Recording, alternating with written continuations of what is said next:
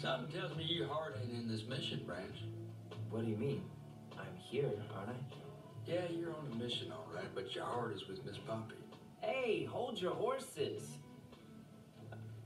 I'm sorry, is that offensive?